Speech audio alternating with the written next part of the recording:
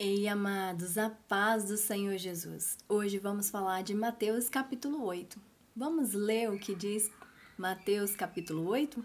Vamos falar das diversas curas que Jesus operou. Então vamos ler? E, descendo ele do monte, seguiu uma grande multidão, e eis que veio um leproso e o adorou, dizendo: Senhor, se quiseres, pode tornar-me limpo.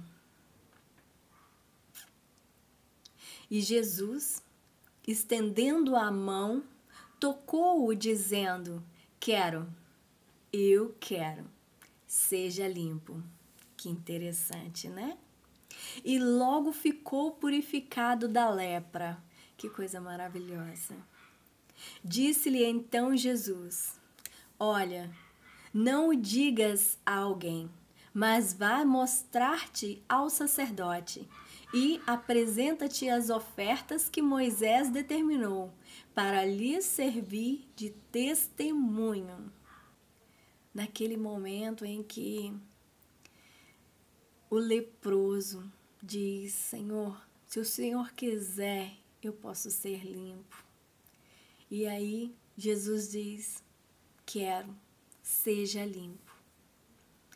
É tremendas passagens que nós aprendemos com Jesus, porque a simplicidade de pedir é muito importante. Quero que vocês prestem atenção nessa passagem do leproso, que ele fala, ele fala bem assim: E eis que veio um leproso e o adorou. Olha só, esse leproso veio, adorou Jesus ali,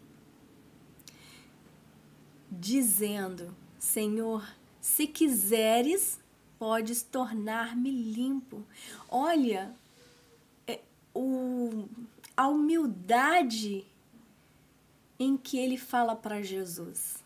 Essa humildade é que faz toda a diferença. A humildade que foi pedido, Senhor, se o Senhor quiser, o Senhor pode me limpar. Senhor, se o Senhor quiser, o Senhor pode me limpar, me curar. E aí Jesus diz: se é só da minha parte que quero, então eu quero, seja limpo. A simplicidade do pedido levou à simplicidade da resposta essa humildade que Deus quer sentir, as orações vindas do coração, da alma. É isso que Deus quer de nós.